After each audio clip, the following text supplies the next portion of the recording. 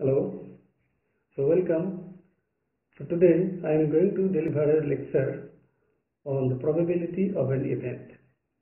And this video is meant for the beginners which are in undergraduate standard. So what is probability? So probability is a branch of mathematics concerning of numerical descriptions how an event occurs.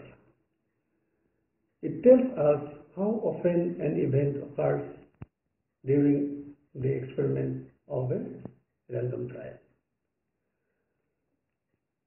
The experiment where the outcomes cannot be predicted in advance are called random experiments. For example, when we toss a coin, then results may be either heads or tails, which cannot be predicted in advance. So, tossing of a coin is an example of random experiment. Similarly, when a dice is thrown, then results can be cannot be predicted. Either it may be 1, 2, 3, 4, 5 or 6. So these type of experiments are called random experiments. Now the set of all possible outcomes of a random experiment is called sample space. For example, when a coin is tossed, then the results may be either head or tail. So here the sample space is S is equal to H tail. H is head, T is tail. Similarly, when a dice is thrown, then the sample space is 1, 2, 3, 4, 5 and 6. So these are the sample spaces for different types of random experiments. And if we consider any subset of the sample spaces, then these are called events. For example, A is an event containing only 8. So this is a subset of this sample space S. Similarly, another event A, suppose 2, 4, 6.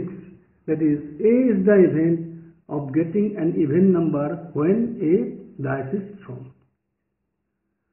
So in this way, we can get different types of events from a sample space. Now, we are going to discuss the probability of the event A. So what is the probability of an event? So probability an event means the chance of happening or chance of occurrence of that event. And this is denoted by PA that is probability of the event A and it's calculated by the formula number of favorable outcomes number of favorable outcomes divided by number of all possible outcomes.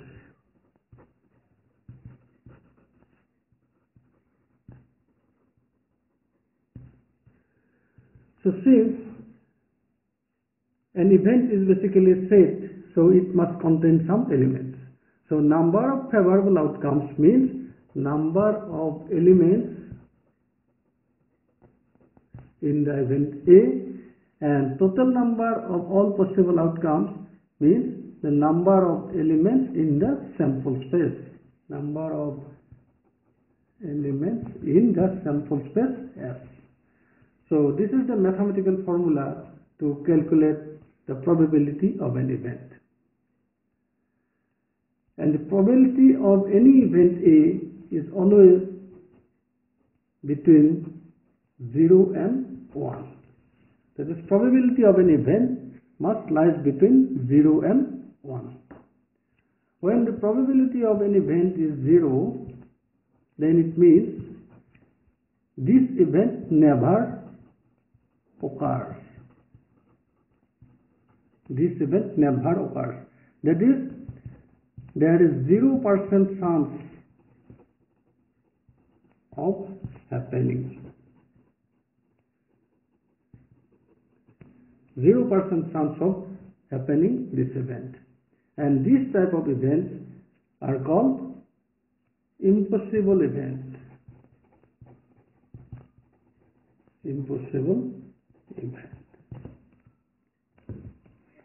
And when probability of an event A is 1, then this implies this event always occur.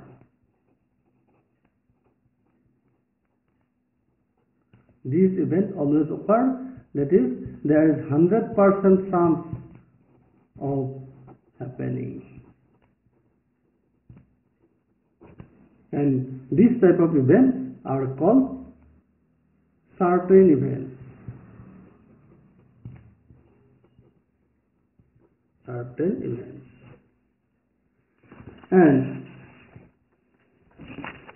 when probability of any event is suppose 0.3 then it means 0.3 can be calculated as 3 by 10 or equivalently it is equal to 30 by 100 that is there is 30% chance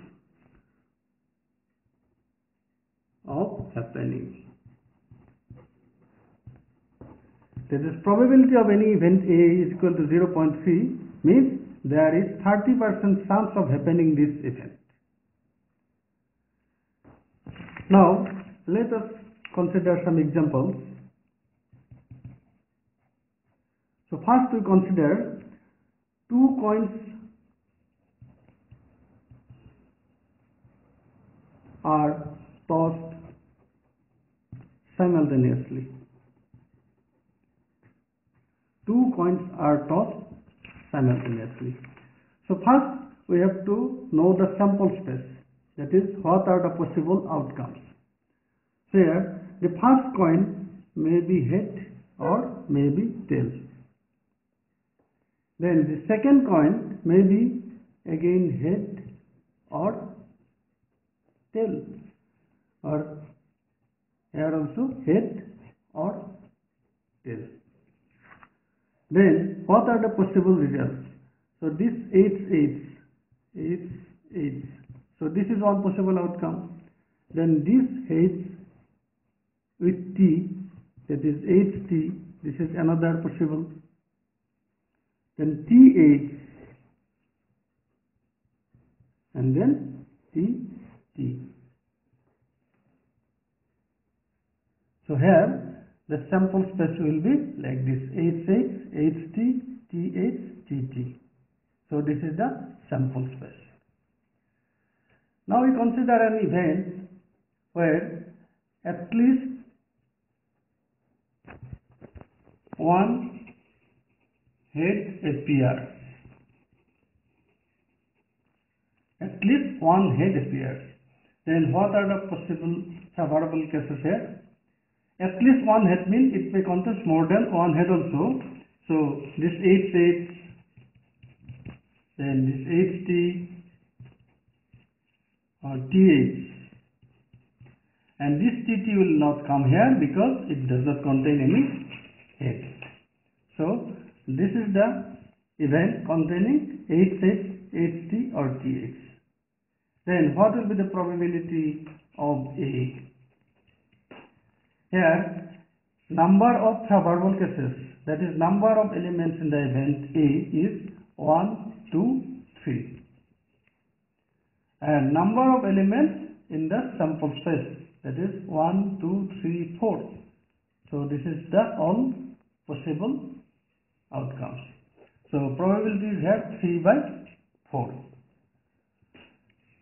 Then if we consider any event A which does not contain any tail.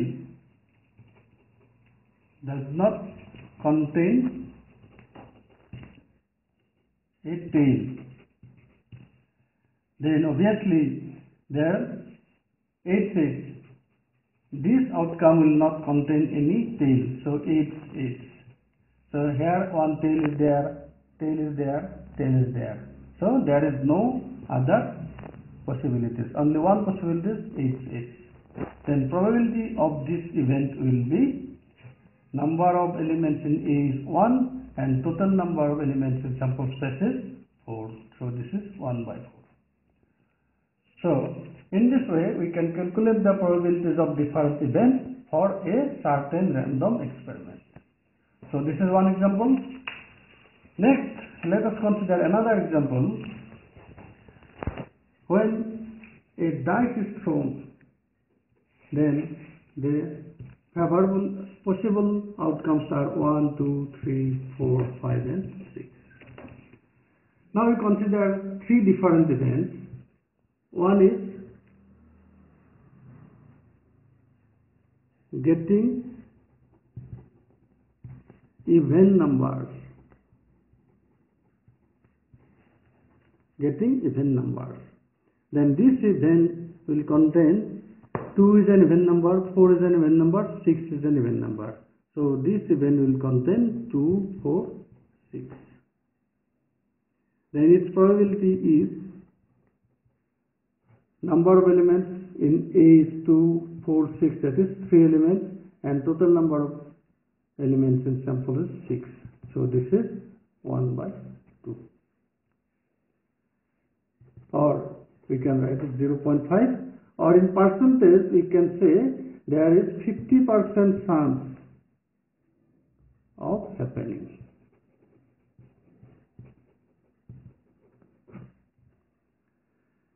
Now if you consider another event p uh, sorry x where x is less than or equal to 4 so this is an event. X where x is less than equal to 4 then this will contain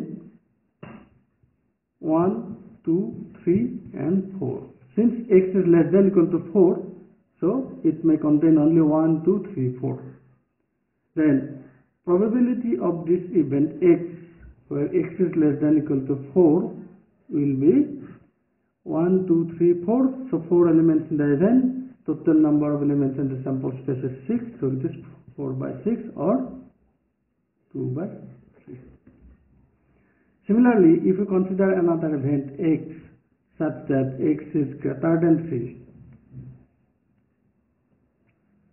then this will contain greater than 3 means 4 5 6 4 5 6 then probability of this event x is equal to number of elements in x is 4 5 6 that is equal to 3 divided by 6 is equal to 1 by 2 so in this way we can calculate the probability of different events. And there are some different types of events also so which will be discussed in next class. So as a first lecture I want to conclude here. So in next class we will discuss more things about different types of events. So till then bye. bye